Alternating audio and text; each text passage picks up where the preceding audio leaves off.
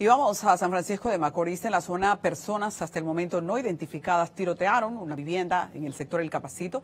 Estamos hablando de la casa número 111 de la calle Duvergé, casi esquina Emilio Prudón. Fue impactada la casa con varios disparos por desconocidos que iban a bordo de una motocicleta. Oímos un impacto, pero no sabíamos que era aquí en la casa y salí y cuando los vecinos vinieron, salieron, pusimos a ver, cuando vinimos a ver, era en la casa mía. ¿Cuánto impacto de balas recibió su vivienda? De 7 a 8. La señora que ustedes vieron hablando ahí es Zeneida Tavares. Dice doña Zeneida que ella no tiene problemas con nadie, así que no tiene ni siquiera sospechas de quién pudo haber hecho esto y pide a la policía dar seguimiento al caso.